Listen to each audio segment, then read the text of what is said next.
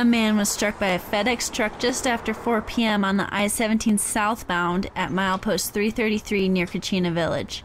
The man was rushed to Flagstaff Medical Center via Guardian ambulance with serious and life threatening injuries. He was reported responsive on scene, however, his current condition is unknown at this time. No information regarding the driver of the truck has been released. It is unclear as to how the man got hit. For Flagscanner, I'm Christina Batson.